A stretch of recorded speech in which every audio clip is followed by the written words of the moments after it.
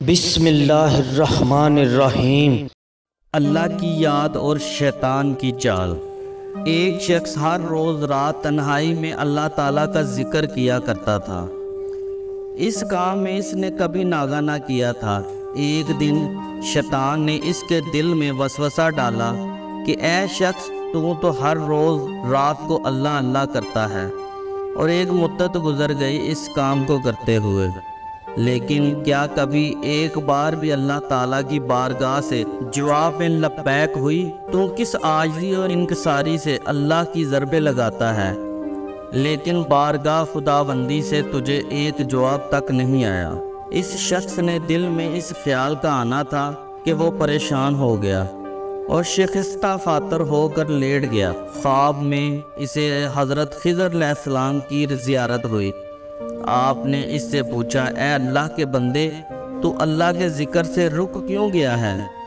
कहने लगा, मैं तो हर रोज़ अल्लाह अल्लाह करता था, लेकिन जवाब में मेरे पास लबैक नहीं आया। इसलिए मैं इस बात से डर गया कि शायद अल्लाह ताला की बारगाह में मरदूद हूँ। ये सुनकर हज़रत खिजर सलाम ने फरमाया ए शख्स, अल्लाह पाक ने मुझसे फरमाया कि जा मेरे इस बंदे से कह दो कि तेरा अल्लाह अल्लाह कहना मेरे ही कर्म की वजह से है। क्या मैंने तुझे अपने काम में नहीं लगा रखा? तेरी तलब तड़प की मुझे सब पता है। मैं तुझे भूला नहीं हूँ, ना ही मैंने तुझे नज़रअंदाज किया है।